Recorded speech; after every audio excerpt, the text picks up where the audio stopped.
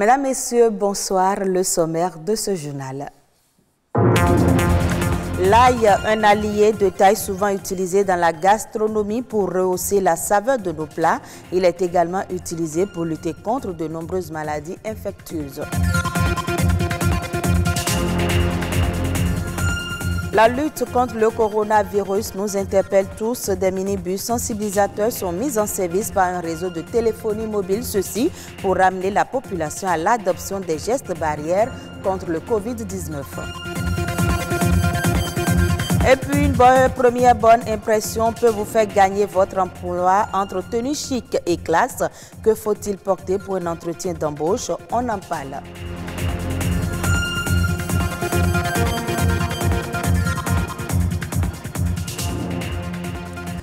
L'ail est consommé partout dans le monde. Il est connu de tous pour rehausser la saveur des plats. Mais ses bienfaits ne sont pas que gustatifs.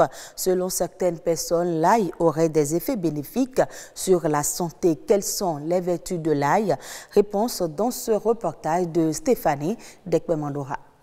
Très parfumé et très remarquable par sa senteur assez forte et piquante, l'ail est une espèce de plante potagère vivace à odeur et au goût fort. Il fait partie des ingrédients les plus utilisés dans la cuisine. En effet, si l'ail sert le plus souvent à donner du goût aux aliments, il possède d'immenses propriétés médicinales. Et lorsqu'il s'agit de parler de ses vertus, les avis des consommateurs sont partagés. Je prépare avec, mais je ne connais pas les avantages qu'ils ont dedans là. Quand vous avez quelque chose comme tension, des fois les gens disent de mettre ça dans la bouche et chaque fois d'avoir les gouttes. Quand un enfant tousse, on lui fait boire un mélange d'ail et de miel. C'est également bon pour ceux qui souffrent d'hypertension. Visiblement, ils connaissent pour la plupart les bienfaits de l'ail, qui possède des vertus pour la santé. Cependant, ils ignorent qu'il ne joue pas un rôle curatif pour toutes les maladies. C'est une substance qui équilibre la tension. C'est pas quand on a l'hypertension qu'on à consommer l'ail. L'ail, c'est ça devient, il faut que ça soit dans notre habitude alimentaire pour prévenir la tension. Originaire de l'Asie centrale, l'ail a été découvert il y a plus de 3000 ans. Il est cultivé et commercialisé dans plusieurs pays. Tout comme au Bénin, il n'est pas rare de croiser des vendeurs d'ail dans les grandes villes africaines ainsi que dans les marchés. Une de ces gousses est une cartouche de vitamines et minéraux qui permettent à l'organisme de guérir ou de se défendre contre certaines maladies. C'est un antioxydant très puissant qui renforce d'abord le système immunitaire contre les infections, contre la toux. Ça a du zinc, ça a du sélénium, ça a aussi du chrome. Le chrome, c'est un minéral qui protège contre le diabète. Le zinc, c'est un minéral qui transporte la vitamine A vers la rétine. Et le sélénium, c'est un minéral qui stabilise le PSA dans l'organisme. il permet de retrouver une bonne respiration au niveau du poumon et du cœur. Quelqu'un qui a un cholestérol très élevé dans l'organisme, il doit commencer par consommer l'ail. Intégrer l'ail dans son habitude alimentaire permettrait de lutter efficacement contre les cellules cancéreuses. Il réduirait le risque du cancer du poumon, de la gorge, de l'estomac, du côlon et des ovaires. Les spécialistes conseillent d'ailleurs la consommation de 4 gousses d'ail par jour. Et la meilleure manière de bénéficier de ces qualités nutritionnelles est donc d'éviter de le mettre au feu. Si vous voulez une guérison curative rapide, rachez ça avec la peau, mettez ça dans le thermos, vous chauffez l'eau, vous versez là-dessus, laissez ça pendant 15 à 20 minutes, vous obtenez déjà une infusion. Il est à noter que l'ail ne rime pas avec bonne haleine. Mâcher quelques feuilles de menthe, de laurier, du clou de girofle ou de petit cola pourrait aider à masquer l'odeur piquante de la bouche. Quand il s'agit du bien-être commun, tout le monde met la main à la pâte. Un opérateur de téléphonie mobile a mis sur pied une stratégie dans la riposte contre la pandémie du coronavirus. Des minibus sensibilisateurs sont mis en service pour exhorter la population à l'adoption des gestes barrières contre le Covid-19. Comment fonctionnent ces minibus sensibilisateurs? Réponse dans ce reportage de Rodrigue Babagbeto. Entrée du marché d'Antopa, Carrefour 4 Thérapie. Il est environ 12 heures quand Bienvenue marque ici son deuxième arrêt de la journée. Depuis près d'une semaine, il apporte sa pierre à l'édifice dans la sensibilisation contre le Covid-19. Sa tâche quotidienne, faire circuler dans la ville de Cotonou ce minibus qui véhicule à des heures bien indiquées des messages de sensibilisation sur les gestes barrières en cinq différentes langues nationales.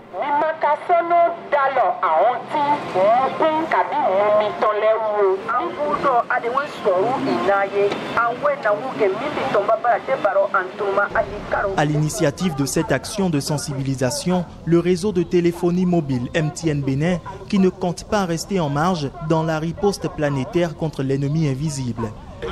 Huit véhicules pour toutes les du territoire national. Les huit véhicules sont répartis sur le territoire national. Nous en avons au sud, nous en avons sur Cotonou, nous en avons dans le centre et dans le nord. Ces bus vont circuler euh, sur plus de deux semaines. Le planning est fait pour plus de deux semaines. Et nous avons choisi 20 euh, carrefours stratégiques par jour, par bus, pour pouvoir circuler. Donc nous, nous avons ciblé tous les grands carrefours, les marchés, pour que les bus puissent sensibiliser, puisque l'objectif pour nous, c'est beaucoup plus la sensibilisation. Un objectif qui semble bien atteint, puisque sur le terrain, les populations sont réceptives aux différents messages véhiculés par les minibus.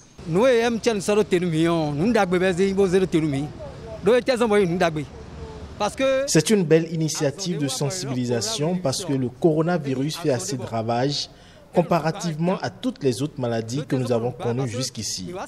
Ça fait peur. Des moyens de sensibilisation comme ceux-ci, la population en a besoin.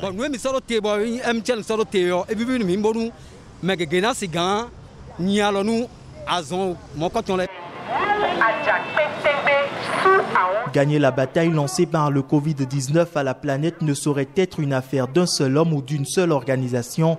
Seulement la main dans la main, la victoire peut être arrachée et aucune aide ne sera de trop. Parlons mode à présent. Savez-vous que pour un entretien d'embauche réussi, il faut une tenue vestimentaire adéquate? Pour une bonne première impression. Il est capital de rester sobre et de privilégier l'élégance et le classique. Que faut-il porter pour un entretien d'embauche? Ariel Alahassa, spécialiste en style vestimentaire féminin, nous en dit plus au micro de César Achadé et Judith Perspective Tossa. Pour un entretien d'embauche, il faut porter des tenues pas de tenue sexy, parce que c'est pas pour aller en boîte. Il faut porter des chemisiers, des, robes tailleurs, des vestons ou des ensembles tailleurs, pantalons, vestes, jupe, veste. Je pourrais citer quatre couleurs. Le noir qui représente le leadership, le bleu nuit qui représente euh, la créativité et le travail en groupe. La couleur blanche qui montre votre sens de l'organisation et votre côté méticuleux. Ensuite, le gris qui représente un peu aussi l'esprit de créativité. Quand on a par exemple une poitrine forte, il faut éviter de mettre, pour aller à un entretien, de mettre des décolletés plongeants qui va faire voir l'essence de vos seins. Non. Et il ne faut pas mettre aussi des, cols roulés qui fermeront votre poitrine et la poitrine sera taxée. On verra plus la forme de votre poitrine. Il faut miser sur des tenues moins serrées. Quand par exemple, si on a les hanches, on ne peut pas mettre du pantalon pour aller à un entretien d'embauche. Le recruteur aura juste les yeux sur vos rondeurs. Il faut peut-être porter un pantalon un peu évasé, pas slim, un peu évasé, ça va un peu euh, équilibrer la morphologie au niveau de vos hanches. Il ne faut pas porter des, des sandales, il faut mettre des escapions, des ballerines. Des ballerines à petits talons. Des talons qui vous permettront d'être à l'aise quand vous serez assis et, quand, et vous ne serez pas stressé, nerveux. Parce que quand vous portez une chaussure qui fait mal au pied, et qui, une chaussure dans laquelle vous avez du mal à marcher, votre nervosité se fera ressentir par votre recruteur. Je vous invite à suivre à présent La Nation en bref, un condensé de l'actualité nationale réalisé par Omolade Sani.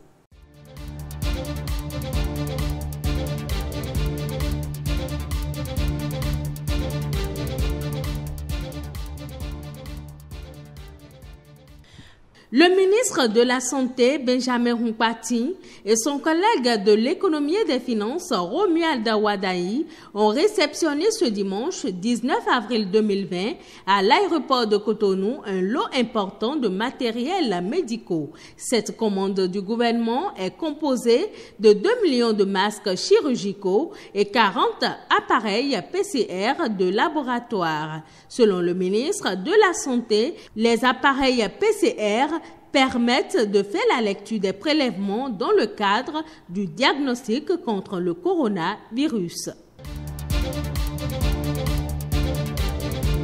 De fausses rumeurs ont circulé sur les réseaux sociaux faisant état de la fermeture des moulins à maïs au Bénin. Le ministre de l'Intérieur dément l'intorse dans un communiqué publié ce dimanche 19 avril 2020. Selon lui, le gouvernement béninois n'a pris aucune mesure officielle à ce sujet. Sakalafia précise que les moulins sont bien autorisés à ouvrir leurs portes à leurs clients sur toute l'étendue du territoire national.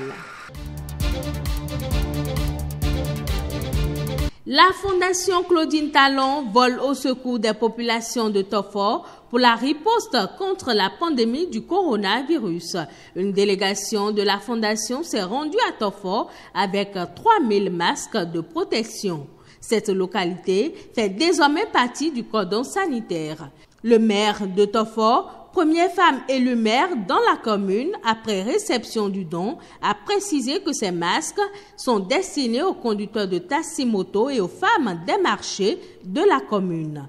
Et parlant justement de marché, celui de Kassoua, dans la commune de Wake, ne pourra plus s'animer. Cette décision a été prise par le préfet du département de la Donga en raison de la pandémie du coronavirus qui sévit actuellement dans le monde. Ce marché est animé par les usagers qui proviennent des pays frontaliers tels que le Burkina Faso, le Togo et le Niger, où le taux de cas confirmés est un peu élevé. Pour éviter l'introduction de nouveaux cas de coronavirus au Bénin par les usagers du dit marché, le préfet a pris la décision de le fermer. La Commission électorale nationale autonome Sénat lance un appel à candidature en vue du recrutement complémentaire de membres de postes de vote. Pour ce recrutement, entrant dans le cadre de l'organisation des élections communales du 17 mai, seuls ceux qui n'avaient pas déposé de dossier au poste sont concernés.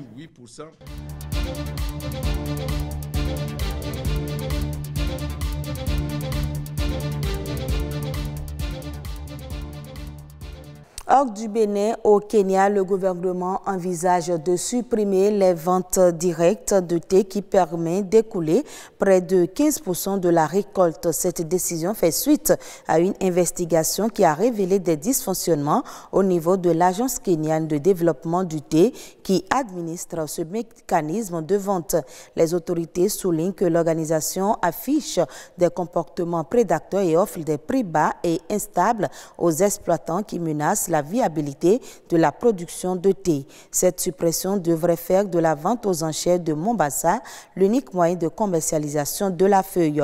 Le gouvernement a d'ailleurs annoncé son intention d'automatiser ce système de vente aux enchères qui se tient deux fois par semaine. Au Kenya, le thé est la principale culture d'exportation du pays et la deuxième source de devises après les envois de fonds depuis l'étranger. Ainsi se referme ce journal. Merci de nous avoir suivis et très bonne suite de nos programmes.